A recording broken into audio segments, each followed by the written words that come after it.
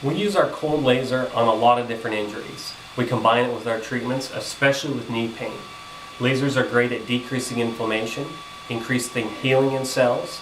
It does that by ramping up the repair cells inside the body. It makes them repair, repair much faster than they normally would. It's going to increase the cellular ATP or energy inside a cell. So if a cell has more ATP available, it spends it to be able to repair that cell down.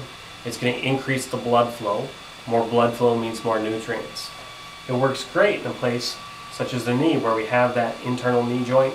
We have a lot of small muscles and tendons coming down onto that bone. The laser is going to be able to hit not just the superficial skin, muscles, and tendons, so the stuff near the surface, but it has a greater depth of penetration.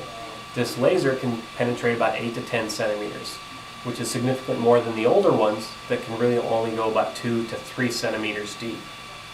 And for somebody who's got an injury, whether it's a patella tendonitis or a small sprain strain along the internal compartments or an IT band, that laser is really going to make a big difference in speeding up recoveries. For the treatment, we're simply going to put our glasses on for safety. As we turn the laser on, you'll see that little red light that red light is delivering about 5 joules a second to this knee area. That's going to help with the repair and we're going to move right along the skin into different areas to make that impact.